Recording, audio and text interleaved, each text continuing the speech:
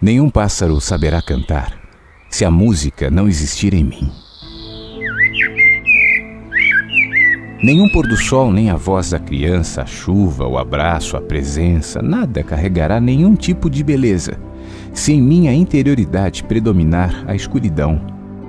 Não haverá luz que ilumine o caminho, esperança em noites difíceis, serenidade para escolhas de paz, calma para enxergar com isenção sabedoria para discernir os dias, significado para projetar nos acontecimentos, sem que eu perceba que é dentro, em mim, onde moram todas as coisas.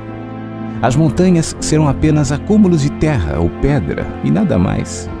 Os oceanos, nada além de muita água, as flores, sem beleza, sem perfume, sem diversidade, não passarão de caprichos da natureza. Se antes, em mim, não houver um extenso jardim com montanhas formadas pelos aclives e declives da existência, oceanos que me refrescam, me arejam, me espantam com seus estrondos que somente eu posso ouvir. Amor será sinônimo de fraqueza, de espírito pobre, amedrontado e servil. Jamais passará de título de música popular inspiração de algum poeta alienado, ou quem sabe gancho de novela sem sentido, sem densidade, sem nenhuma utilidade, se minha alma estiver seca, se meu medo servir de bloqueio e continuar me impedindo de saltar, de correr riscos e assumir as implicações de responder às demandas da vida em amor.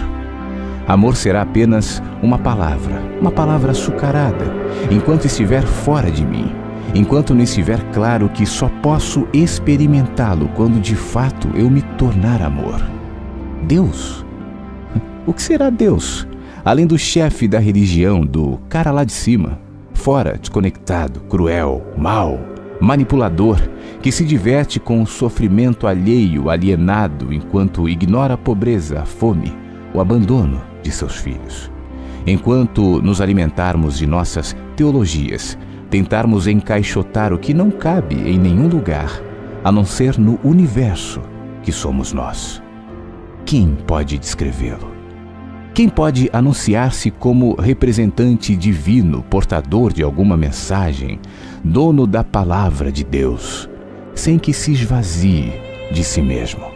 Que entregue-se ao mistério, que mergulhe na presença e perplexo, descubra Deus na gente, aqui dentro, em mim e sem condições de encará-lo, renda-se ao eu sou em profunda gratidão, humilde, reverente, em estado de quietude interior.